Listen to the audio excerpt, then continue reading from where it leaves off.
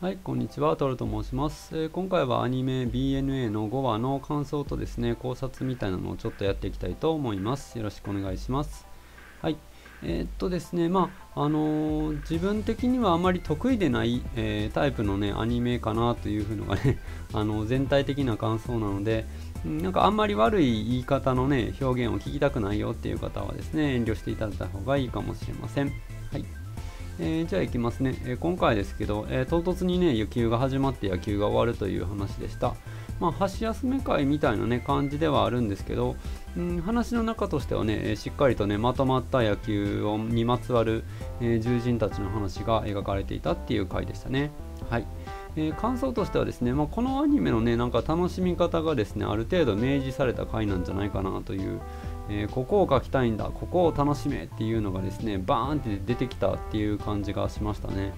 うんまあかもしれないってだけなんですけどあ今までのノリとねだいぶ違ったのであ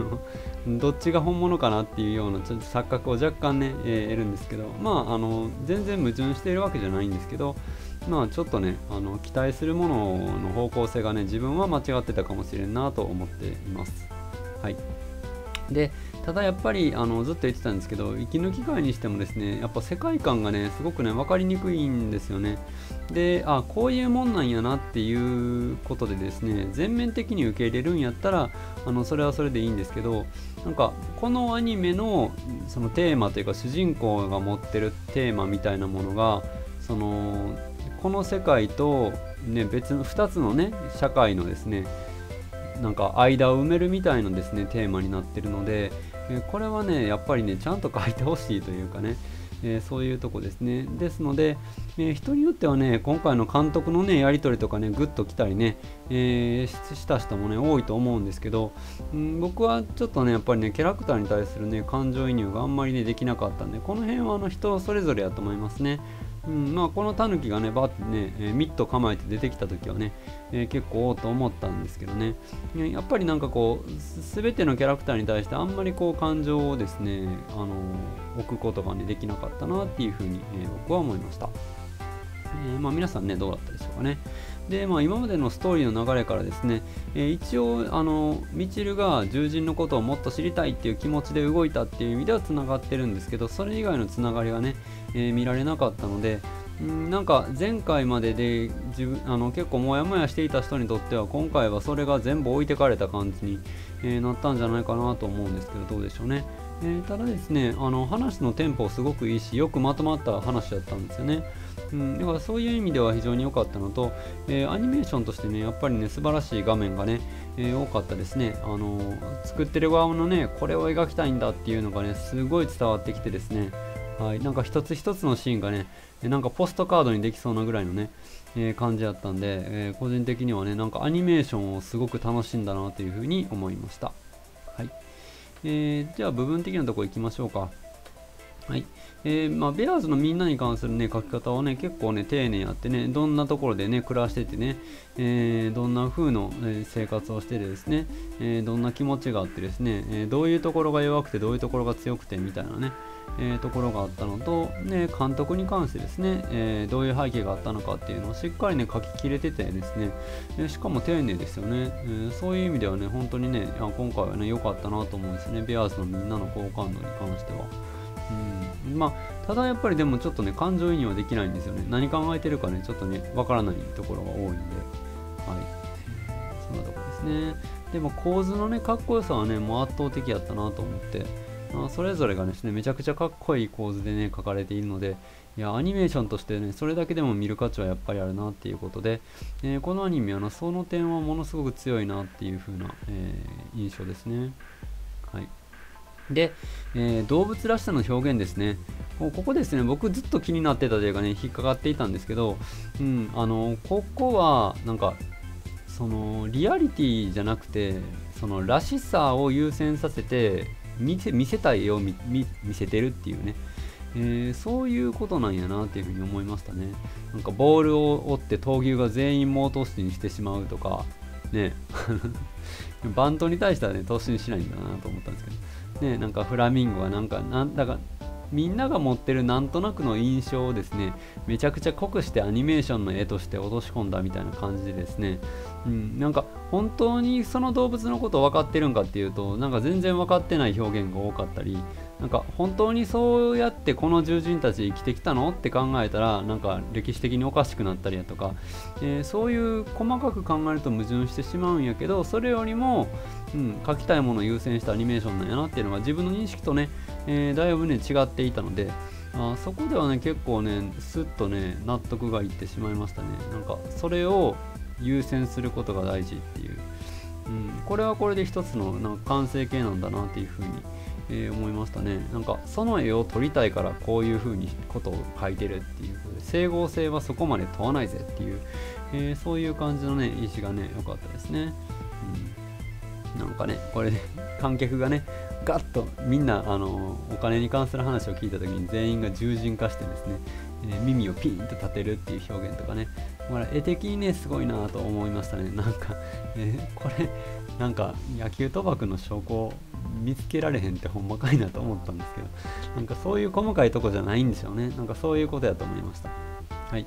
えー、あと題材とのね兼ね合いのね難しさはねこれを思ったんですよね。その僕が今回感情移入できなかったりしたのはこれがね強いと思うんですけどうーんとねミチルの獣人のことをねもっと知りたいっていうのをね、えー、伝わってきてねよかったんですけどうんその獣人のことをね知りたいって言ってるんだけど人間のことがですね説明されてないんですよね。なんかあのー、この獣人たちのなんか価値観とかですねまあ、人に対する認識とかね意識とかね、えー、差別意識とかそういうものをですねかなりこのピーキーにね、えー、表現されていたりするんですけどね、えー、じゃあこの世界の人間はどういう感覚なんかっていうのが前回表現されたんかっていうと全然されてない上にみちる自身も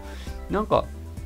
どこに主軸があるのかよくわからないっていうなんか言ってることは結構いいいいこと言ってるんですけど、うん、なんか殺し合いのね、えー、死ぬか生きるかの野球なんだろうって言ったりだとかでも殺し合いじゃないこれは野球をするんだって言ったりだとか。うんでも人をね攻撃したり傷つけたらあかんってベアーズの子に言ってたりだとかですね、えー、なんとなくこうねあのすんなり行くのが難しいようなことをですねあのその場その場で言っているのでうんなんか比較するべき世界がわからないんですよね。監督がね苦労してたっていう描写もねあったはあったんですけどねどれぐらい苦労していたのかとかね。うんで迫害されていたりですねで獣人は獣人になることを隠すのが普通みたいにしてるんですけどなんかねね普通に獣人の姿で野球してる監督の過去があったりだとかですね。でまあまあなんていうのですかねその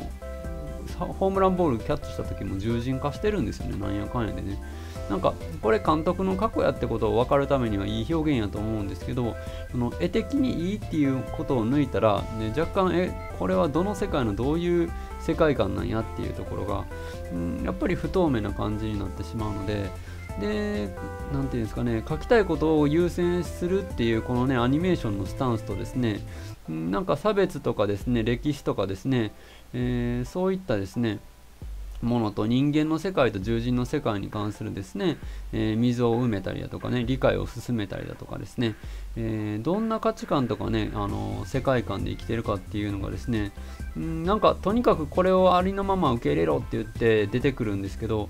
うん、それはそれを受け入れてしまったらね楽しくできるんかと思うんですけどこのテーマとしてはですねやっぱりちゃんと書かないとあかんのちゃうかなって僕の場合は思ってしまったなっていうことで、うん、なんとなく自分の感覚ではなんかこうテーマとですねこのアニメーションの武器がねあんまりね合ってないんじゃないかなっていうふうに、えー、思ってしまいますね。なんか弱肉強食でねなんかねこのボコボコに動物とかがされてる感じとかってなんか普通に見ると何というかこう抵抗感とか嫌悪感とかが、うん、あると思うんですけどなんかその辺りを気にせず俺たちは書くんだっていうスタンスにしかちょっと感じられないというかそこにちゃんとなんか重みとか説得力を持って表現してるのかなって思うと、うん、そんな感じはねちょっとねしなかったなっていうふうに、えー、個人的には思いましたね。はいえー、でただまあ今回ですね、えー、みちる自身のことはね僕は全然よくわかんないしあんまり感情移入できないんですけどなんかあの今回に関しては結構積極的に自分からですねイベントを拾っていってね行動してるというところが見られてねなんか今までストーリーにね振り回されていたのとは違うっていう感じがね感じられてね、えー、これは嬉しかったですね。はい。えー、そんなわけですね。あの世界観の考察をするのはですがにはね向いてないかなというふうに思いましたんで、えー、まあ、とりあえず6話までが区切りやと思うんで6話までは見ようかなというふうに思うんですけど、まあ、その後はちょっとね分かんないかなっていう感じですね、えー、まあ、個人的なとこなんですけどね、うん、その絵をね撮ることをね優先しているので、うん、なんかね獣人であることをねバレたら変身できる獣人であることをバレたらいられなくなるかもって言ってるけどこれテレビで多分放送されてるんですよね。で、えっと普段もですねなんかタヌキの姿はね楽だからタヌキの姿をしているっていうねえー、っとバレないようにするためには人間の姿で普段いた方がいいとは思うんですけどなんかそういったそのね歪みみたいなやつをですね多分ね絵を描きたいからそこにね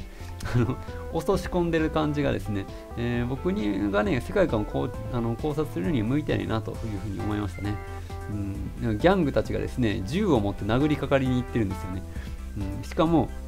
え多分肉体派のねあの犬のね大きい犬のね獣人と多分そういうんじゃないカラスのね獣人が両方とも全く同じ行動パターンでね銃を持ってね殴りかかりに行ってるっていうねよくわかんない描写なんですけどしっかり倒されてですねでも描写としてはちゃんとね銃をバラバラにする描写とかもちゃんと丁寧に入れてるんですよ。だから あ